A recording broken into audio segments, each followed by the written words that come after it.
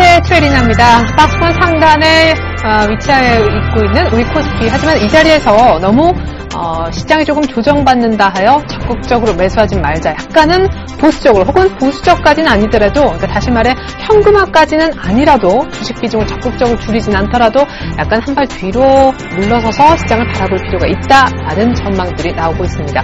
왜일까요? 오늘 시리아 리스크도 좀 다시 불거진 감이 없지 않아 있는데요. 잠시 후에 보여드리겠지만 삼성전자도 오늘까지 4일 연속 밀리고 있어 분위기가 약간은 조정 분위기를 띠고 있기 때문입니다. 자, 뉴욕 증시 마감부터 살펴볼 텐데 노동절 하루 쉬었죠?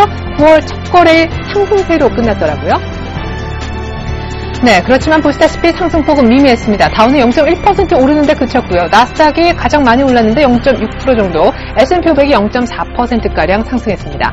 자, 다우지수 분봉을 한번 보여드릴까요? 자, 다우지수가요, 장 초반 한때 분위기가 상당히 좋았습니다. 15,000선 회복하는 줄 알았죠? 14,800선 중반까지 갔었었는데, 심지어 하락전환 한 포인트도 나왔었고요. 막판에 다시 끌어올리면서 그래도 0.1% 정도는 오르면서 마감할 수 있었습니다. 자, 왜 이렇게 분위기가 장 초반에 일단 좋을 수 있었는가? 그것부터 얘기를 좀 차례차례 풀어가 보면요. 지표 두 가지가 좋았습니다. 첫 번째는요, 바통을 아주 잘 받았죠. 중국, 그리고 유럽에 이어서 미국의 제조업 지표도 역시 좋았습니다. 제가 뭐라 그랬죠? 2011년 6월 이후 미국, 중국, 유럽, 이른바 G3 국가의 경기 확장 국면이 동시에 나타날 수도 있겠다라고 했는데 그런 국면이 지금 진행이 되고 있습니다. 미국의 ISM 제조업 지수 8월달 지표를 보니까요. 전날보다 다소 둔화될 것이라고 예상치가 별로 기대가 높지 않았었는데 전월보다 훨씬 좋았고요. 2년 2개월 내 가장 좋은 성적이었습니다. 뿐만 아니라 7월달 미국의 건설 지출 또한 전월 대비 0.6% 정도 늘어나면서 건설 지출도 감소를 예상했었거든요. 이것 역시 4년 2개월 내 좋은 성적이었습니다. 자, 그런 거 치고 미국이 조금밖에 오르지 않았다. 뭔가 악재도 있었겠죠. 그렇습니다. 먼저 말씀드린 바대로 시리아 악재가 재부각됐는데요.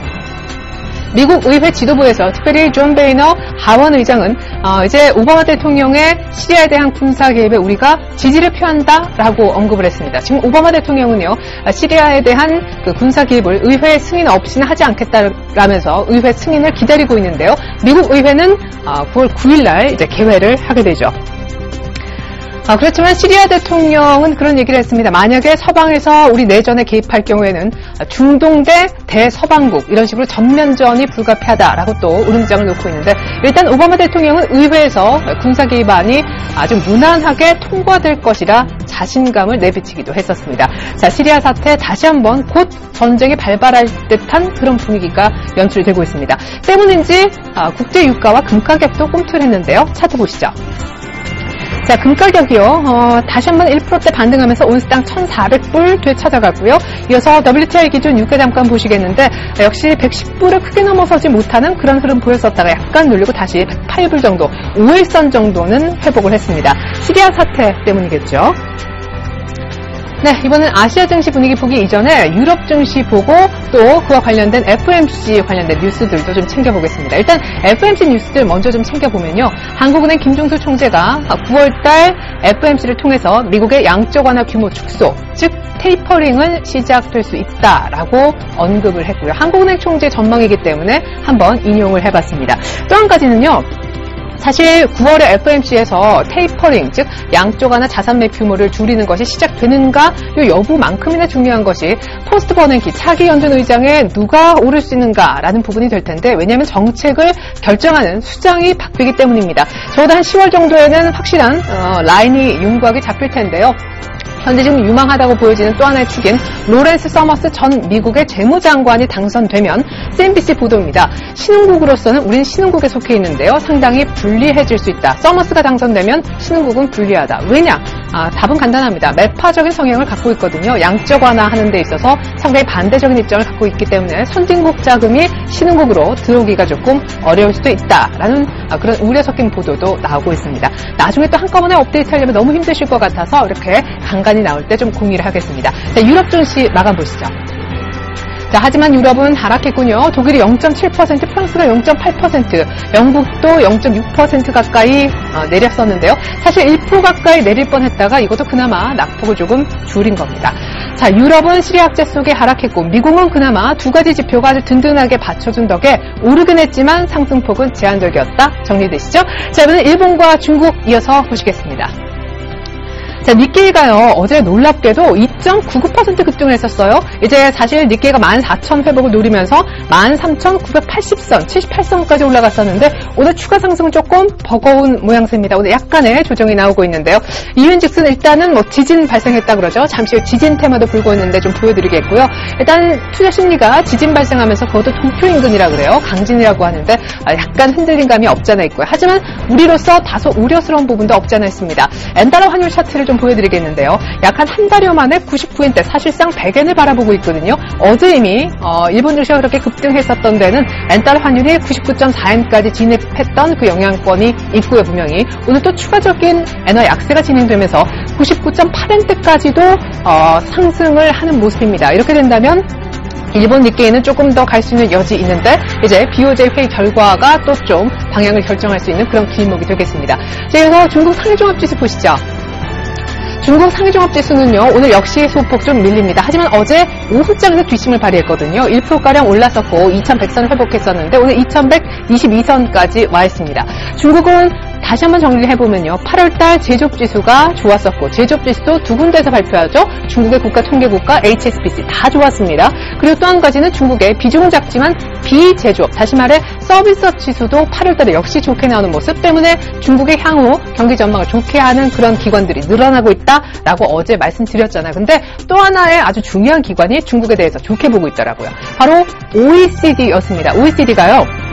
중국 이런 분위기라면 중국 경제 하반기에는 8%대까지 성장이 가능하겠다라고 했습니다. 뭐 중국은 이제 8%대라는 숫자가 상당히 중요하죠. 바오바 정책이라고 이제 슬슬 기억나십니까? 중국이 이제 사수하고자 하는 연평균 성장률 8%대가 다시 한번 하반기쯤 회복될 수 있겠다라고 OECD가 상당히 장밋빛 보고서를 낸 것입니다. 중국이 지수적으로도 좋아지고 있죠.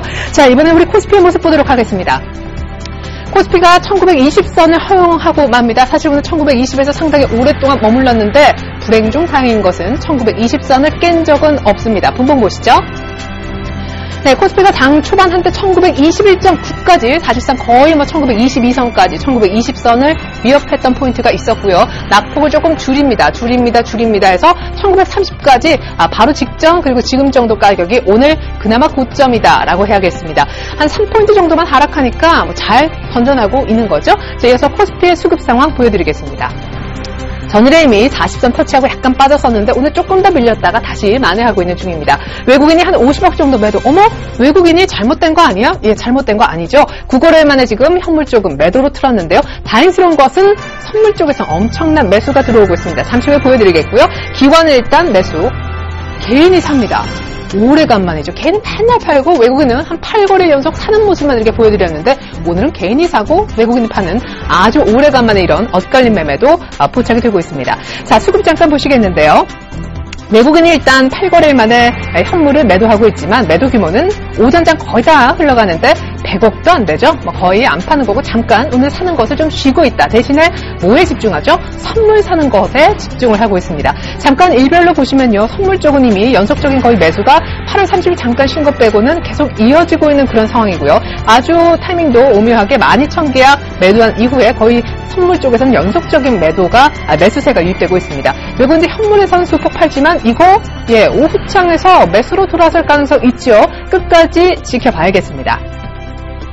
네, 이번에는요, 어, 코스닥을 한번 보도록 하겠는데요. 자, 코스닥은 오늘 어떤 모습일지. 어제 사실 반락하는 줄 알았는데 겨우겨우 빨간불을 지켰던 코스닥 아니겠습니까? 오늘 526.02, 네, 어제 종가보다 0.1포인트밖에 오르지 못하네요. 이러다가 하락전환 될 수 있겠냐고요? 아까 이미 하락전환 됐다가 올라온 거예요. 자, 코스닥이 이때 하락전환, 저희 시작하기 이전에 한 30분도 채 안 됐을 것 같아요. 하락전환 했다가 지금 약간 올라왔는데 0.1포인트만 빠지면 걸음, 0.2포인트 빠지면 빠지면 다시 하락 전환. 코스닥은 불안불안하죠.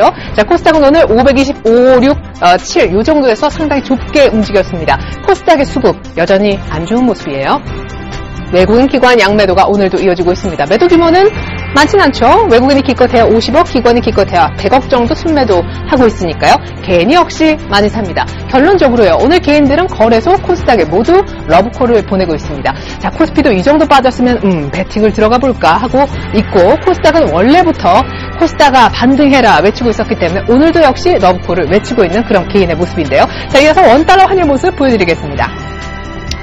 자, 원달러 환율 사흘 만에 일단 1,100원. 아이고, 요 일자 중간에 두 번째 일자가 얼마나 반가운지 일단은 반등에 좀 성공을 해줬죠. 오늘 사실은 훨씬 더 여유있게 gap up 출발했었다가 상승폭이 다소 줄어들고 있습니다. 일단 상승의 원인은 분명하죠. 시리아 사태가 발생을 했고요. 미국의 지표가 좋았기 때문에 달러 자산 쪽에 매수세가 유입됐습니다. 그리고 최근에 계속 아, 급락했기 때문에 충분히 그 반대 매매도 아, 일어날 수 있는 타이밍이었었고요. 자, 잠깐 분봉상 원달러 환율 차트 보시면요. 오늘 한 4원 이상 아, 개법 출발하면서 1,102원이 보였었는데요. 그러다 상승폭이 줄었다가 다시금 그 원위치로 갔습니다만 다시 상승폭이 줄어서 지금은 1,100원대 딱 회복하는 그 정도에서 머물고 있습니다. 네, 재밌는 것은요, 전문가들이 그런 얘기를 하더라고요. 여기에서 중요한 것은 물론 고용지표가 하나의 방향성을 제시할 수가 있는데, 고용지표가 잘 나오면 1,100원을 회복할 수 있다 말씀드렸는데, 이미 그 전에 시리아 사태가 터지면서 1,100원 선을 일단은 챙겨놓은 상황이고요. 여기에서 미국이 시리아에 진짜 공습을 가하는지 여부에 따라서 환율이 바뀔 수 있는데, 그 중간에 빈 스토리는 뭐가 채울 수 있느냐? 바로 유가입니다. 2008년에 미국과 이제 중동 간의 어떤 안 좋은 사태가 벌어지면서 유가가 한번 급등했었거든요. 그때 뉴욕 증시가 급락 했었고 그때 원달러 환율이 급등을 했었었는데 유가 급등과 원달러 환율 급등이 동시에 나타날 수 있습니다. 뭐로 미국이 진짜 시리아를 공습했을 때 이 부분도 또 하나의 변수가 될 수 있으니까 잘 보시기 바라겠습니다. 자 이번엔 시가총액 상위 종목입니다. 삼성전자가 오늘까지 사흘 연속 1%대 하락하는 줄 알았는데 낙폭을 다소 줄여주고는 있습니다. 삼성전자 잠깐 차트 좀 열어보겠습니다. 곧바로요. 자, 삼성전자가요. 제가 며칠 전에 자막을 그렇게 전문가의 말을 이용해서 적어놓았던 기억이 납니다. 생명선이다. 얼마가? 135만 원이. 생명선이 지금 깨졌죠. 어제 이미 깨졌고 오늘도 추가 하락. 하지만 낙폭은 1%대 안쪽으로 다행스럽게도 묶어주고 있습니다. 차트적으로 본다면 다시 한번 박스권으로 회귀해요. 이렇게 해서 뚫고 이렇게 140만 원 코스로 가지 않고 물론 계속 올라가는 주가는 없습니다만 여기서 맞고 떨어지면서 다시 삼성전자 아직까지도 우리 시장처럼 박스권에 갇혀있는 그런 모습입니다.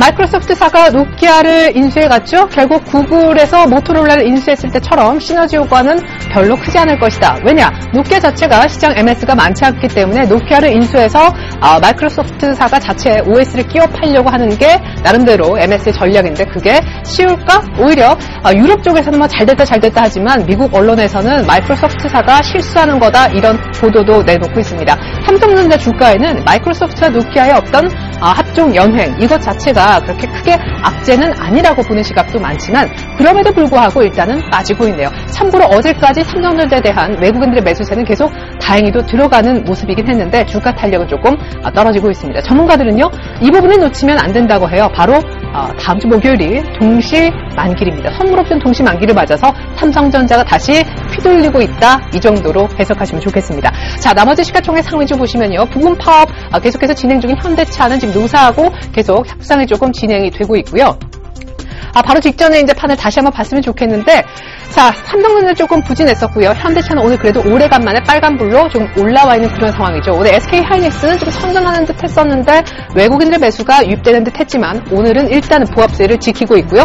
LG화학이 아주 조용하게 30만 원대를 향해 가고 있습니다. 오늘 1% 중반의 상승, 그리고 최근에 금융주 좋죠. 신한지주. 어, 그 밖에 좀 빠른 차트를 보여주는 것이 하나금융지주 같은 종목도 있는데요. 일단 신한지주도 오늘 1%대 상승해주고 고요 삼성생명이 많이 빠집니다. 현대중공업은 오늘 추가 상승하는데 삼성생명 나왔으니 삼성생명 얘기해 보겠습니다. 잠깐 LG 디스플레이 언급만 좀 드리면요. 하닉스 오늘 조용하고 삼성전자 좀 빠지는데 LG 디스플레이가 한 2%대 정도 약세를 띄고 있다는 거 말씀을 드려보겠습니다. 자, 지분 매각 관련된 이슈가 장 마감 이후 공시를 통해서 이미 나왔죠. 오늘 조회 공시에 대한 답을 오늘 아침에 했었던 CJ 제일제당 다름 아니라 삼성생명 지분 3, 어, 300만 주를 일단 전량 처분하겠다. 시간 외에 대량 매매 블록딜 방식을 선택했습니다. 처분 예정일은 오는 6일이고요. 때문에 삼성 생명의 경우에는 그 물량이 6일까지 계속 나올 수가 있다는 거 때문에 지금 삼성생명 조금 차트를 열어 보여드리죠.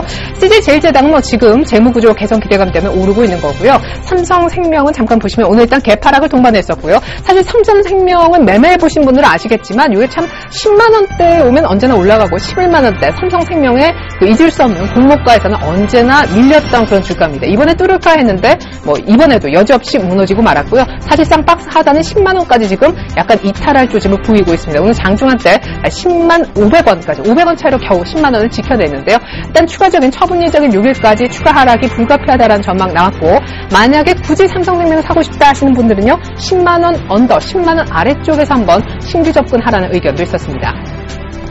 CJ 제일제당에 대해서는 재무구조 개선 기대감이 있으니까 상당히 좋다 하는 분석들도 있었는데 이미 예고된 부분이다 하는 분석도 눈길을 끌었습니다. 이미 CJ에서 대한통운을 인수할 때 돈이 좀 현금이 모자라가지고 자회사인 CJ 제일제당에서 어, 또 도, 저희 돈 쓰세요 하면서 현금 지원을 했었거든요. 그 부분에서 또 최근에 키우고 있는 바이오 사업 부분에서 현금이 좀 필요했었기 때문에 삼성생명 지분을 지금 매각해서 현금 유동성을 확보하려 하고 있지요. 자 이번에는요 어, 호텔 신라도 잠깐 언급드려보겠습니다. 어떻게 보니까 다 어, CJ 관련, 뭐 삼성 관련 이런 종목들인데 호텔 신라가 아까 처음으로 7자를 한번 보여줬습니다. 4성 처음으로 7만 원을 장중에 한번 뚫었었는데 지금 약간 매물이 나오고 있습니다만 호텔 신라 괜찮죠. 이제 중국에서 춘절, 그러니까 중추절이죠. 우리로 치면 추석 때 아마 관광객들이 몰려올 거고 호텔 신라에서 잠을 잘 수도 있겠고 또 면세점에서 물건을 사면 호텔 신라 실적도 좋아지겠고 무엇보다 서울 어, 그 중국에 있는 호텔 신라가 리노베이션 통해서 실적 개선이 또한 기대되고 있는 시점이라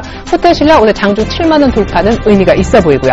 자, 이어서 시리아 사태 관련해서 들썩이는 종목들도 한번 모아봤습니다. 첫 번째는 금값이 이렇게 어, 4거래일 만에 반등하면서 고려아연이 다시 한번 뜨고 있다는 것이고요. 이게 얼마 안 오르네. 오늘 고려아연은요. 제가 얼마 전에 전문가의 말을 인용해서 34만 원대 정도는 매물대 감안해서 한번 끊자 현금화하자라고 말씀드렸는데 조금 더 이런 분위기라면 홀딩이 가능하겠다. 전략을 수정하시는 전문가가 계셔서 좀 준비를 했고요. 애강리메텍이 훨씬 더 가볍게 움직입니다. 오늘 장중한 때 10% 정도나 급등한 바 있었었고요. 자 나머지 종목 가운데요. 오늘 방산주도 같이 뜹니다. 시리아 사태하고 우리 방산주하고는 실적 측면에서 상관없어요 라고 전문가들이 지난번에 한번 들썩였을 때도 아, 그런 얘기가 나왔었는데 뭐 그런 거랑 관계없이 테마주는 이렇게 같이 그냥 분위기를 타고 가는 것 같습니다. 오늘도 스페코가 두 자릿수 대 상승, 빅텍도 이제 다시 두 자릿수 대 상승으로 올라섰습니다. 자, 이어서 하나는요. 오늘 재밌는 게 석유 도매주, 석유 유통주가 오르고 있어요. 유가가 오른다라는 분석 속에 아, 석유 유통주까지 어, 오히려 더 강한 모습이죠. 방산주 만만치 않게 아, 흥구석유와 중앙에너비스는 두 자릿수 상승. 사실 흥구석유는 지금 상 한가까지 가격 젠폭까지 올라가 있는 상황이 되겠습니다. 자, 기계 섹터 한번 보시죠. 최근에 지표가 또 좋아지면서 돌아가면서 경기 민감주가 오르는데 그 중심에 두산그룹주가 있다는 걸 놓치시면 안 되겠습니다. 지주에서 두산이 오늘 소폭 오르지만요. 두산엔진이 어제 급등했는데 오늘 3% 추가 상승합니다. 두산엔진은 어디 자동차 엔진을 만드는 게 아니라 조선, 선박에 들어가는 엔진을 제조해서 조선주로도 같이 엮을 수 있는 그런 종목이거든요. 두산엔진 좋고 두산 인프라코어, 두산중공업 어, 좀 시간이 되시면은 한번 차트를 열어보시고 수급 보실 수 있으면 수급을 봐주십시오. 기관의 매수가 최근에 급격하게 들어가면서 아주 빠른 반등이 나와주고 있는 게 특징입니다. 그 밖에 진성 TLC 그리고 동양기전, 캐터필라 모멘텀으로 어제 말씀을 드렸었는데 오늘까지 동양기전 보세요. 가파르게 추가 상승이 기계 섹터에서도 순환매적으로 나오고 있습니다. 자, 이어서 조선과 건설 조금 더 보죠. 오늘 조선주 중에서도 의미 있는 추가 반등을 보이는 종목이 있습니다. 바로 삼성 중공업이 일단 첫 번째 종목인데요. 전고점을 좀 뛰어넘고 있죠. 삼성 중공업 차트 보여드리겠습니다. 자, 전고점을 뛰어넘어 오늘 드디어 4만 원대를 보여주고 있는 삼성 중공업. 현대 중공업이 상당히 좀 차근차근 올라갔다면 삼성중공업은 눌림목 이후에 빠른 전고점 돌파 그리고 오늘 4만 원까지 찍어주고 있고요. 또 하나의 종목은 현대 미포조선입니다.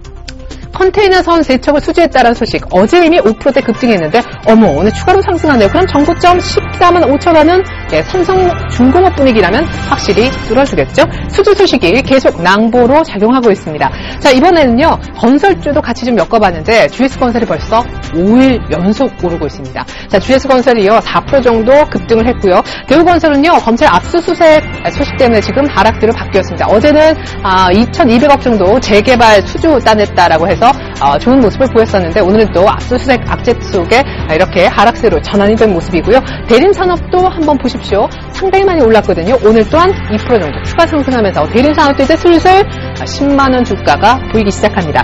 자, STX 펜오션과 STX 그룹주 오늘 온도차가 확연합니다. 펜오션 정도만 사는 피 인수 기대감 때문에 나홀로 오르는 반면에 나머지 STX 지주회사와 종목들은 조금 부진하죠. 많이 부진한 편입니다. 왜냐하면 STX 지금 강덕수 회장, 뭐 STX 조선해양의 대표 이사직도 맡고 계신데 에, 이런 모든 타이틀을 다 내려놔라라고 채권단 쪽에서 압박하고 있기 때문입니다. 아, 때문에 그룹사 채권단 간의 약간의 이견이 조금 마찰이 빚어지면서 SX 그룹주 나머지 종목은 패노션 빼고 조금 불안정한 모습을 보이고 있습니다.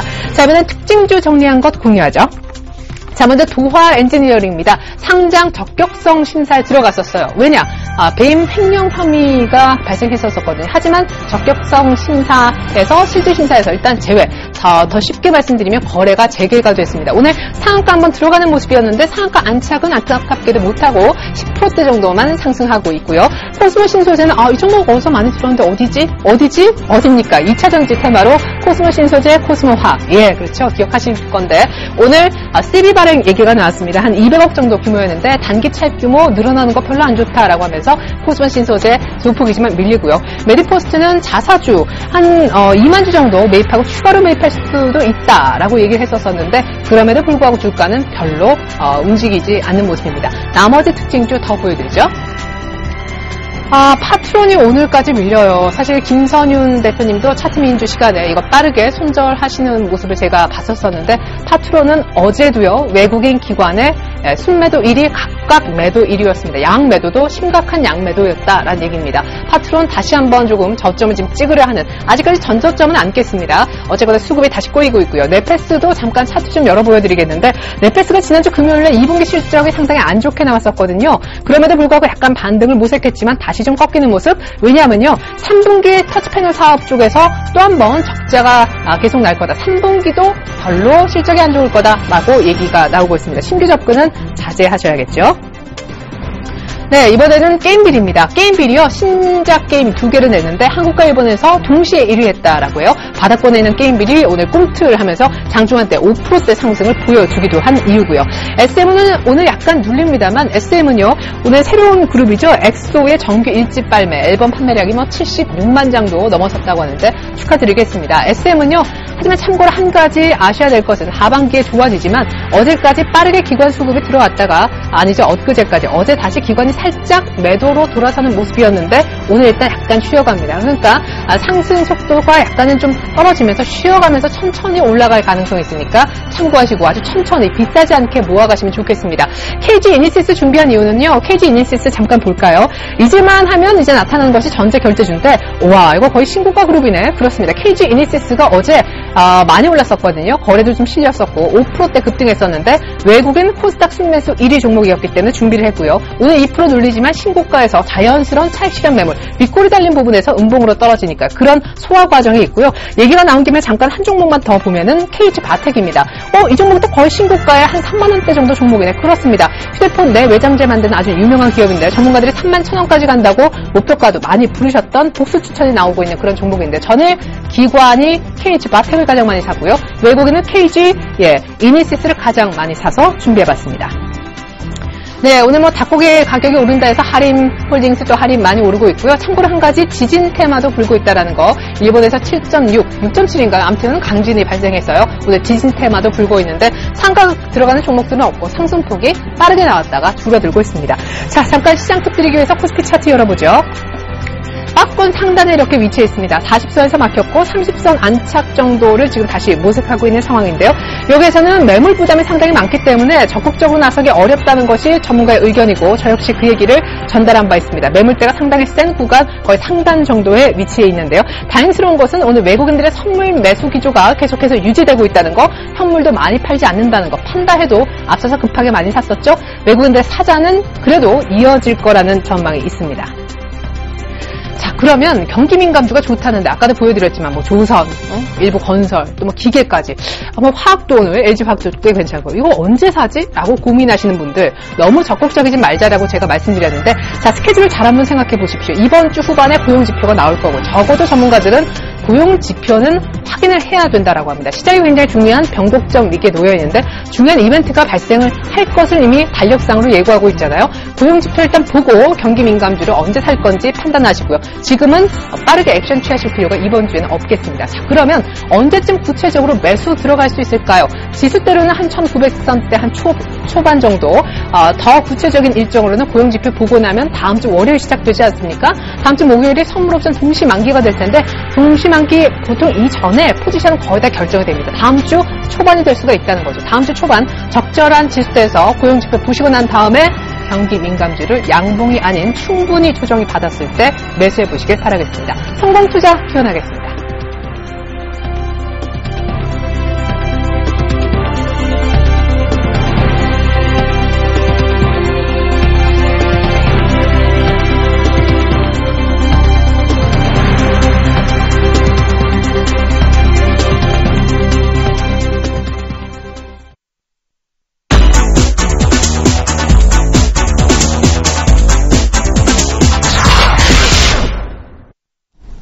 안녕하십니까. 9월 4일 뉴스인마켓입니다. 애플이 오는 10일 새로운 아이폰을 공개합니다. 삼성전자와 소니 등도 신제품을 출시할 예정이어서 하반기 스마트폰 시장에서 치열한 경쟁이 예상됩니다. 월스트리트저널은 애플이 미국 캘리포니아주 쿠퍼티노 본사에서 열릴 행사에 언론들을 초청했다고 보도했습니다. 초청장에는 녹색과 파란색, 보라색 등의 작은 원들이 여러 개 있고 가운데 애플 로고가 찍혀 있습니다. 작은 원들 밑에는 이것이 모든 사람의 하루를 밝게 한다는 문구가 적혀 있습니다. 월스트리트저널은 애플이 이번 행사에서 아이폰 5의 후속 모델인 차세대 아이폰을 공개할 것으로 예상된다고 전했습니다. 애플은 행사에서 새로운 기술을 적용한 차세대 아이폰과 함께 저가형 아이폰도 공개할 것으로 보입니다. 삼성은 동일, 독일 행사에서 새로운 스마트폰과 함께 손목시계형 스마트폰인 갤럭시 기어도 공개할 것으로 전해졌습니다. 세계 경제 포럼의 2013년 국가 경쟁력 평가에서 한국이 25위를 기록했습니다. 이는 지난해보다 6단계 떨어진 것입니다. 8분기 연속 0%대 저성장 기조가 이어지고 북한의 3차 핵실험으로 긴장감이 최고조에 달한 4월과 5월에 평가된 점이 악영향을 미친 것으로 분석됩니다. 세계 경제 포럼은 올해 한국의 국가 경쟁력이 148개국 중 25위로 지난해보다 6계단 하락했다고 밝혔습니다. 이는 세계경제 포럼 평가 기준으로 2004년 29위 이후 9년 만에 가장 낮은 수준입니다. 세계경제 포럼이 설정한 한국의 국가 경쟁력 순위는 2007년 11위로 최고를 기록한 이후 2012년 24위에서 19위로 오른 것을 제외하고 매년 하향 곡선을 그리고 있습니다.